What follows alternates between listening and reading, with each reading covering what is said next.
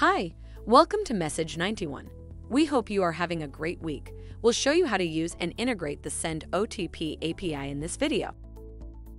First of all, log into your Message 91 account and click on the OTP section. Go to the Template section at the left side and click on the Add Template on the top right corner. Put your template name and select the DLT sender ID in the dropdown Sender Name, the approved DLT template ID and the template. If you are sending on international numbers, then you can leave the template ID field blank.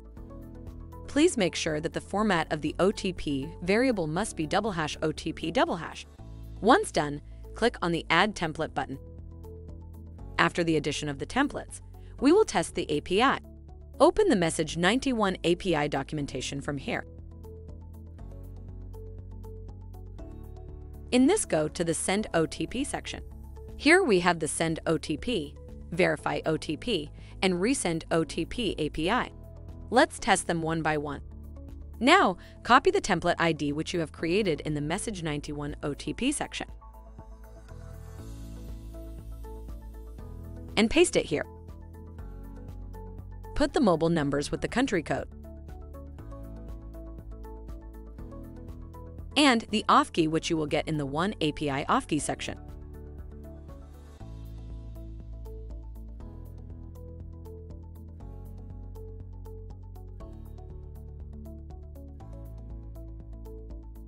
Copy it from here and paste it. Click on the Try button at the top right corner. Dot here is the response you will receive and same you can check in the Message 91 log section. If you are having any extra parameter other than OTP parameter, then you have to pass in the extra param option depending on the number of the variables. In this, Params are the variable name which you have given in your template and its value, which you wish to put.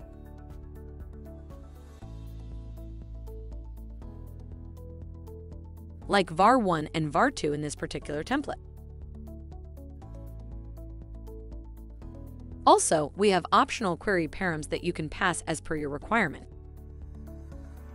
To resend OTP, go to the Resend OTP API and put the auth key. Retry type as voice or text. And mobile number with the country code.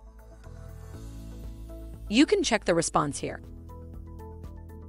For verifying the OTP, go to the Verify OTP API and put the OTP that you received. Auth key. And the mobile number with the country code. you will get the response as OTP is verified successfully. At the right, we have sample codes for all the API which you can integrate at your backend. In the OTP section, we have a token feature as well that allows users to prevent fraud and limit unnecessary requests for OTP.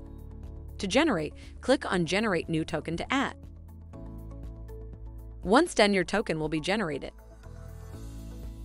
In this, we have a throttling limit that you can set as your requirement, and by using the IP section, you can block the IP temporarily or permanently. You can enable or disable it by clicking on the three dots.